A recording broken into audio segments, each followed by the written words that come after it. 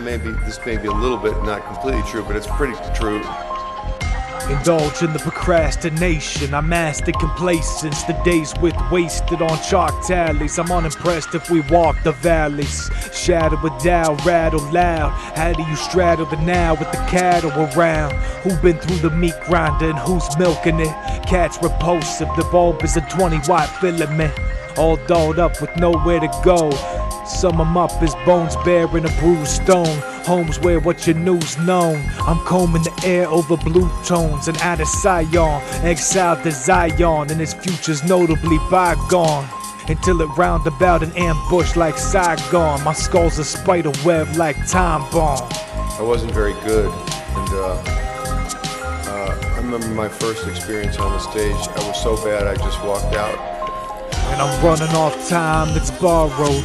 All the pressure could make a star fold.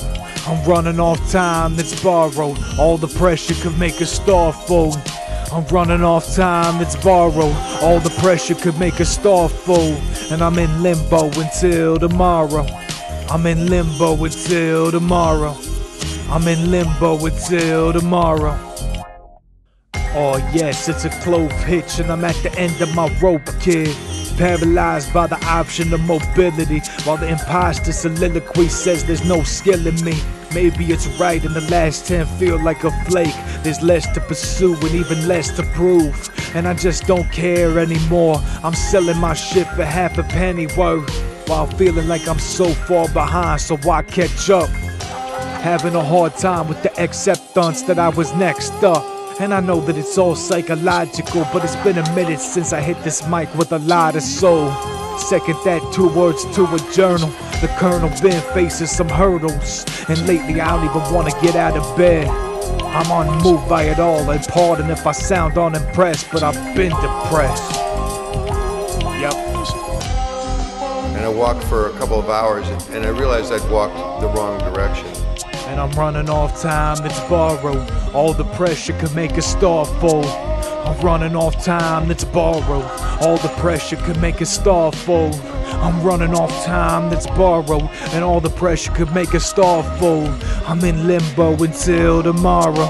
I'm in limbo until tomorrow. I'm in limbo until tomorrow. I'm in limbo until tomorrow.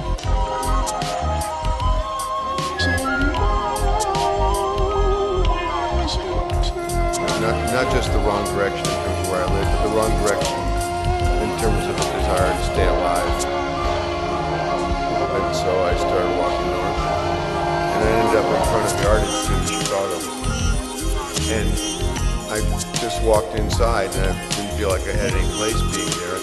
I just walked right through because I was ready to die, and uh, pretty much dead. And I walked in, and there's a painting there, and I don't even know who painted it, but it's called the, um, the Song of the Lark, and it's a, it's a woman working in a field, and there's a sunrise behind her, and, I saw it that day, and I just thought, look, there's a girl who doesn't have a whole lot of prospects, but the sun's coming up anyway, and she's got a, another chance at it. So I, I think that gave me some sort of feeling that I, I, I too have am, am a person and, and get another chance every day the sun comes up.